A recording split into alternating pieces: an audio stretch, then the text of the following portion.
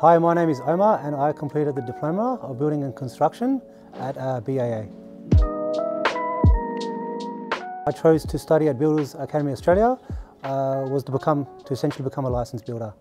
My motivation for completing the course was to essentially get my builder's license uh, and to become a one-stop shop uh, with my current business. The skills and uh, knowledge that I learned uh, in the diploma was the confidence uh, in uh, building a residential home from start to the finish and, and, just more the legal aspects of it as well.